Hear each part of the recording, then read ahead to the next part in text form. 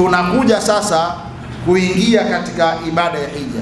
Tulisomesha kwamba ibada ya hija ina nguzo nne. Ibada ya hija ina nguzo nne. Nguzo ya kwanza ya ibada ya hija ni kuhirimia ibada ya hija.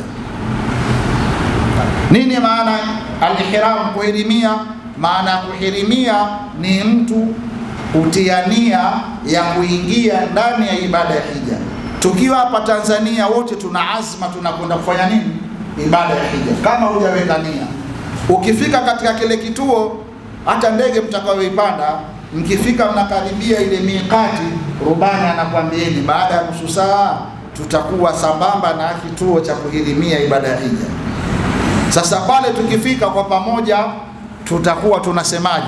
nawaitul hajja, nawaitul lumra wa haramtu biha lillahi taala labbaik allahumma umra. Hii ndio ihram, baada ya umra, na tumehirimia ibada ya umra. Labbaik allahumma umra, tumekuitikia ee Mola wetu kwa kuitekeleza ibada ya umra. Sasa hii nia hii inaitwa ihram na lazima ihramu hii ima uitie katika kituo pale pale, usivuke kituo, usije ukaja ukairimia ibada ya hija ushatua jida, una faini, unapewa mawili, urejee kwenye kituo unakijua, na wewe ulikuwa juu ya ndege, umekiona wapi? Ukimwambia mwenye taksi bana, nipeleke, atakwambia riali mia tano, akupeleke akurudishe jida muda huo haupo, kwa sababu tumeshaingia ubalozi pale wa, wa Saudia wa Tanzania ulioko Saudia. Upo katika uwanja ndege, wanachukua mojaji wanatoka kwenye magari, wewe ndio urudishwe kwenye kituo. Hapana, kuna mawili, ima urudi kule ama upe faini ya kuchinja mnyama, na hiyo ndio itakao kukumba wewe. Ama sheria inakuruhusu ukaweka ukahirimia ibada hija kabla ya kituo, pengine kituo kipo Mbagala, wewe wasiwasi wako, ah, niko kwenye ndege hapa, naweza hapa nikachukua na usingizi nikajikuta ishapitishwa. Sisi tumeelewana? Basi hapa hapa weka nia yako. Ujinasue, yani kuhirimia, unaambiwa ima uhirimie ndani ya kituo kenyewe ama uhirimie kabla ya kituo, ndo usalama wako ndio maana baadhi ya sheria na baadhi ya wanachuoni wanasema hata hapa Tanzania unaweza ukahirimia, lakini hapa wanakwambia unaweza ukahirimia. Ukishahirimia kuna miko yake, hutakiwi kuifanya, utaizungumza. Sisi tumeelewana?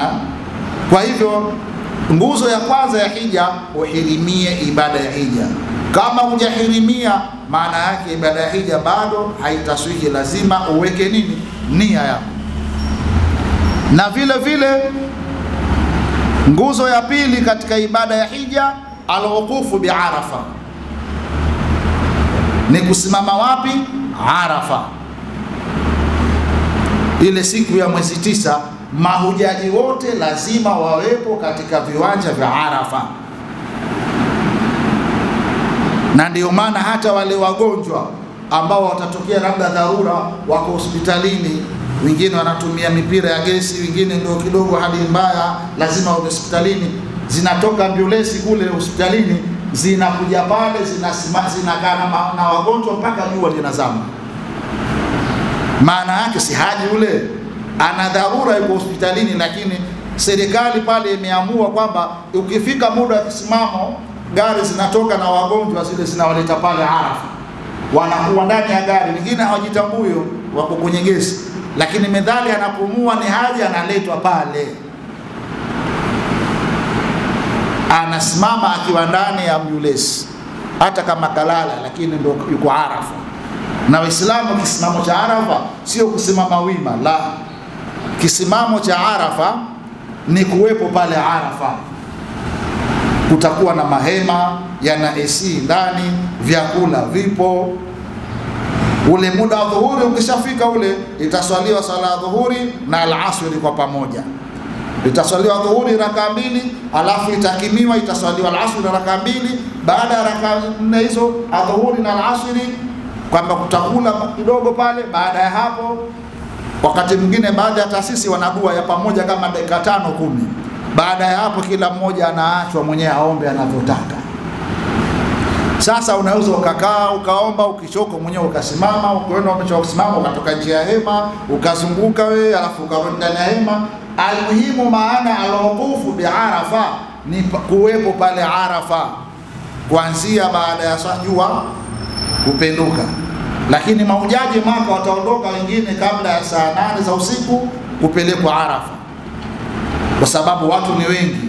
Kwa hiyo tukisema wote tuondoke baada ya swala asubuhi, itakuwa msongamano wa magari na maujaji wengine watachelewa. Kwa hiyo watu wanapangiwa nidhamu, hawa wataondoka mwanzo, taasisi hii, taasisi hii, taasisi hii. Kwa hiyo mnaweza mkaondoka wengine saa saba za usiku, swala la ya alfajiri mkaiswalia Arafa na Arafa tukifika muda wa asubuhi, hakuna ibada inayofanywa pale, ni kunywa chai. Usha kunywa chai, unalala tu, una kazi nyingine, unasubiri mchana, kwa lazima tuwepo pale. Sasa basi, kuna tatizo ambalo sugu baadhi ya mahujaji, unajua yale maeneo yamewekewa mipaka, kwa maana kutoka hapa mpaka hapa hapa mpaka hapa hapa ndio Arafa. Ukivuka huko, maana yake uko nje ya viwanja vya Arafa, ndio maana yake. Sasa kuna watu wengi wasiojua wanakwenda maeneo ambayo yako nje ya Arafa kwa kuwa wameona watu. Kuna wengine wanapanda kwenye milima kule Jabal Rahma, lile lile Jabal Rahma, ukienda ukienda nyuma yake uko nje ya Arafa. Kwa hiyo watu wanaenda kupanda kule, na kuna msikiti pale unaitwa Masjidun Namira uko Arafa. Ule msikiti ni mkubwa sana, unaweza ukatoka barabara hiyo hapo mpaka barabara hiyo huko, urefu na upana ndio usiseme. Ule msikiti kutoka kwenye kibla mpaka karibia katikati ni nje ya Arafa. Sasa wewe unakwenda msikitini pale, unaingia unakwenda kwa kibla huko nje ya Arafa mpaka jua linakuchwa, hujasimama Arafa.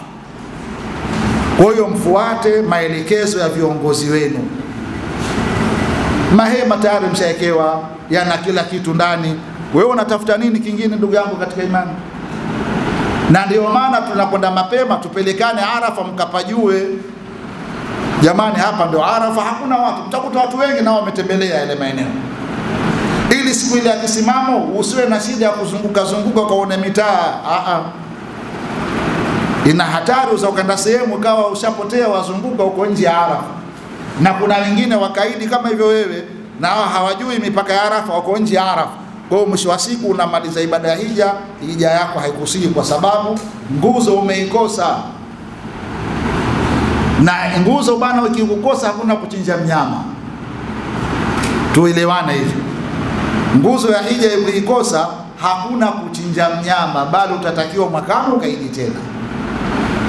Si nimeeleweka vizuri?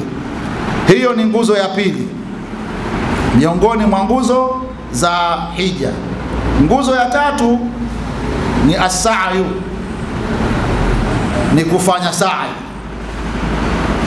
baina safa wal marwa. Ile ni nguzo, unafanya tawafu, lakini kabla ya hapo, kabla ya ya, ara, ya kusimama Arafa, kuna nguzo ya tatu ni atawafu, ni kutufu Alkaaba. Ile tawafu ambayo tutakishuka kwenye ndege tunakwenda kufanya tawafu ile ni ya umra, kwa sababu taasisi zote duniani ambao wanatoka nje ya Maka wananuia mfumo wa hija inaitwa atamattu. Atamattu maana yake unaanza arafu nani, nani umra, halafu ukishamaliza umra ukishanyoa nani unapumzika, unasubiri mwezi nane ndio unatia nia ya hija, unakwenda Mina. Si tumeelewana vizuri? Lakini hii tawafu hii tunaoisema hapa ni ya hija, maana yake ile mwezi kumi umeshatoka Muzdalifa, umekuja Mina ukapiga mawe. Kama taasisi yako itakwambia tukipiga mawe tu ile mwezi kumi tukafanya tawafu, ukishamaliza ile tawafu na sa'i yake, ndio ile tawafu inakusudiwa hija, ukishamaliza. Lakini sisi huwa hatupendelei tukishapiga mawe tuondoke na maujaji tuende nao tukafanya tawafu ya hija, kwa sababu kuna kuwa na msongamano mkubwa sana. Unaweza ukaenda asubuhi ukarudi saa nne za usiku kutokana na ule msongamano, kwa sababu mabasi hakuna. Siku ile kishaanza hija, mabasi yanazuiliwa kuingia maeneo matakatifu. Sasa ukitoka pale kupiga mawe Ukishatoka mbele kidogo, ndio utakuta kuna bodaboda zipo hizo taksi, lakini bei yake usiseme.